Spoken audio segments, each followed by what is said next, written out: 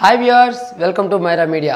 సంచలన దర్శకుడు రామ్ గోపాల్ వర్మ ఎప్పటికప్పుడు ట్వీట్లు చేస్తూ వార్తల్లో నిత్యం నిలుస్తూనే ఉంటాడండి. ఆ విషయం ప్రత్యేకంగా చెప్పాల్సిన అవసరం లేదు. ఇక రాజకీయాల గురించైనా సినిమాల గురించైనా ఆయన చేసే కామెంట్స్ అయితే వివాదాస్పదంగా మారుతాయి అనడంలో కూడా ఎటువంటి అతిశయోక్తి లేదు.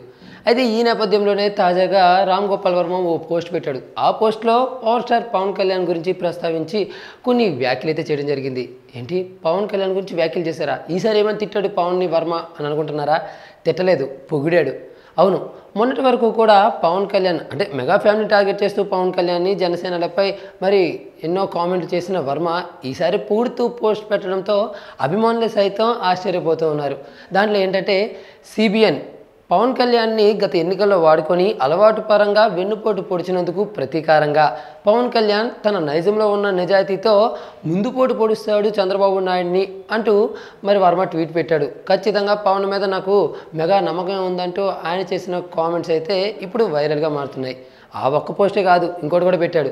అదేంటంటే బ్రహ్మం గారు నా చెవిలో ఒకటి చెప్పారు. అదేంటంటే పవన్ కళ్యాణ్ గారు గెలిస్తే ఏపీకి సీఎం అవుతారు. అదే ఓడిపోతే ఏపీకి సీఎం ఎవరు అవుతారో ఆయనకి మొగుడవుతాడు అంటూ మరి వర్మ గారు అయితే కామెంట్ పెట్టారండి. అయితే ఇదంతా పక్కన పెడితే పవన్ కళ్యాణ్ అభిమానులు వర్మకు రీట్వీట్ చేస్తున్నారు. మరి అది ఒక రకంగా చెప్పాలనుకుంటే ఆయనకి పనిచేసే విధంగానే ఉందనుకోండి.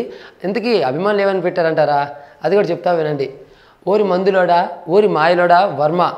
నువ్వు ఈ కామెంట్లన్నీ చేస్తుంది నీ సినిమా ప్రమోషన్స్ కోసమే కదా? సడన్గా మా పవన్ అన్న మీద నీకు ఎక్కడ లేనంత ప్రేమ ఎక్కడి నుంచి పుట్టుకొచ్చిందో చెప్పు ఫస్ట్.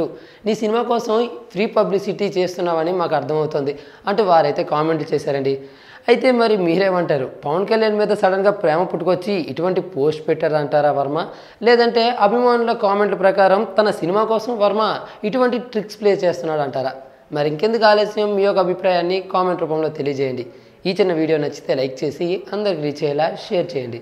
అదేవిధంగా ఎప్పటికప్పుడు ఇటువంటి లేటెస్ట్ అండ్ ఇంట్రెస్టింగ్ టాపిక్స్ను మీకు అందించే మా మైరా మీడియా ఛానల్ను సబ్స్క్రైబ్ చేయడం మాత్రం మర్చిపోకండి. Thank you.